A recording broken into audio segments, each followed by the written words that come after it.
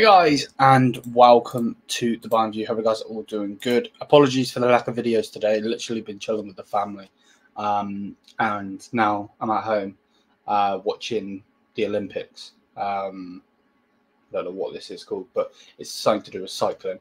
Um, but yeah, big up to everyone. Hope you guys are all doing well. To be fair, there actually hasn't been much to talk about. The news that has been coming out of late uh, is basically the same news. Davies, Tah uh, De Ligt, and Xavi Simons. It's not really anything special, if you want to say. Obviously, Olise did get an assist today in the Olympics for the French team.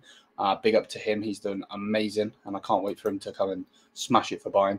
Um, but yeah, there's not really much to, to personally say if I'm being 100% honest. Um, but at the same time, make sure to smash the thumbs up. Let me know what you think. Hit the subscribe button. Check out the socials above. Thank you for the constant support on the channel as always. Um, we're nearing, I want to say, 3.6, I believe. So big up to everyone for that. Uh, and hopefully you did enjoy the show with um with Steve uh, last night. Um, I really enjoyed making that one. Uh, so we will definitely carry on with um, the, Bayern show. Um, and then we'll definitely carry on with the Dalton show. Uh, but yeah, big up to everyone, and uh, let's get into the news. So, basically what's being said. It's the same sort of thing, um, but it's another bid uh, from Bayern Munich for Jonathan Tah. So as you can see here, uh, Bayern have submitted uh, a new improved bid for Jonathan Tah worth around 20 million fixed, um, plus the 5 million on add-ons. The offer is unlikely to be accepted by Leverkusen, but it shows that Bayern are still determined to sign Tah, which I agree with. I agree with that. Uh, and then it was um, quote tweeted saying that Tah has no intention of extending with Leverkusen. Um, he's not extending his contract uh, and is keen to join Bayern. The German international is expected to join Leverkusen's training camp uh, on Sunday. An agreement between the clubs before that is very unlikely. Um, I don't think there's really much in it. I know that a lot of you guys don't want him anyway. I understand why but like I don't think there's really much in it to be honest with you. I think you know the fact of even saying stuff like that is just dumb to be fair.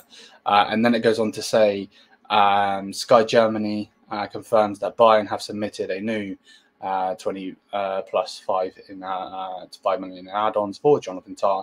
It's not enough, um, but Tah is still pushing to join Bayern. Um, so yeah, if, if you're happy, cool. If you're not, cool. I get it either way. To be to be perfectly honest with you.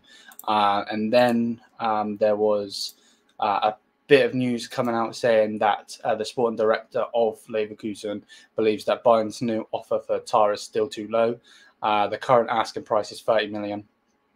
Uh, package of 25 million guaranteed plus the 5 million add-ons is what they want, and that's coming from Bild. I understand uh, that obviously they just won the league. Um, and they've had a ridiculous campaign in that.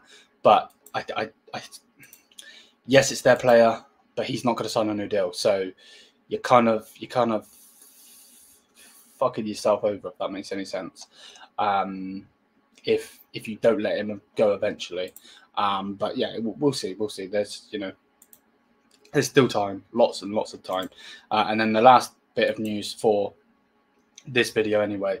Uh, basically, the sporting director of Leverkusen on the on the new offer, he said there's no new update.